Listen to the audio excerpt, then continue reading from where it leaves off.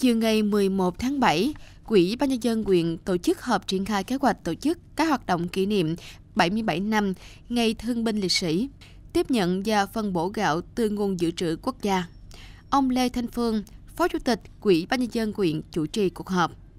Theo kế hoạch tổ chức, các hoạt động kỷ niệm 77 năm Ngày Thương binh Liệt sĩ quyện sẽ diễn ra từ ngày 1 tháng 7 đến ngày 31 tháng 7 năm 2024,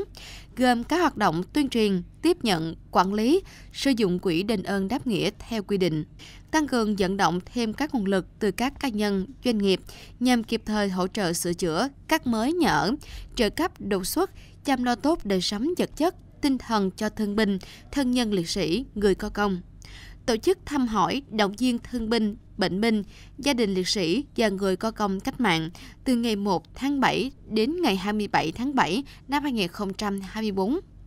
tổ chức đưa người có công với cách mạng tiêu biểu của huyện đi Hà Nội viếng lăng Chủ tịch Hồ Chí Minh cùng đoàn tỉnh trước ngày 31 tháng 10 năm 2024 tổ chức viếng nhà bia ghi tên liệt sĩ Quỷ Phú và viếng nghĩa trang liệt sĩ thị xã Tân Châu. Phối hợp đoàn thanh niên Cộng sản Hồ Chí Minh quyện, dân hương và thắp nến tri ân các anh hùng liệt sĩ tại nhà bia ghi tên liệt sĩ quyện. Theo kế hoạch tiếp nhận và phân bổ gạo từ nguồn dự trữ quốc gia, Quỹ Phú sẽ tiếp nhận trên 541 tấn gạo từ ngày 17 đến ngày 19 tháng 7 năm 2024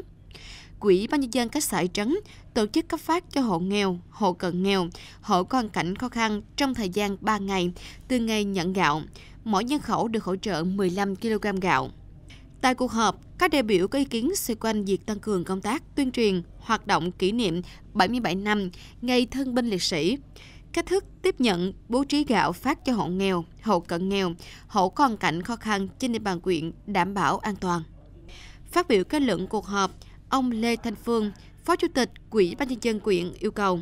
các ngành chuyên môn quyện, các xã trấn cần nhân rộng, lan tỏa hình ảnh đẹp trên các trang mạng, trang thông tin về kỷ niệm 77 năm Ngày Thương binh Liệt sĩ,